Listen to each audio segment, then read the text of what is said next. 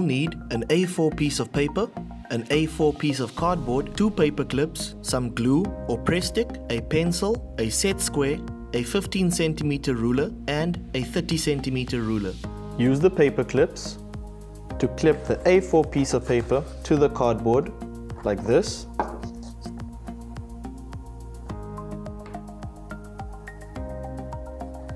Then using glue or Prestik, stick the 15 centimeter ruler to the 30 centimeter ruler, making sure that the smaller ruler is at the bottom like this. And there you have your T-square.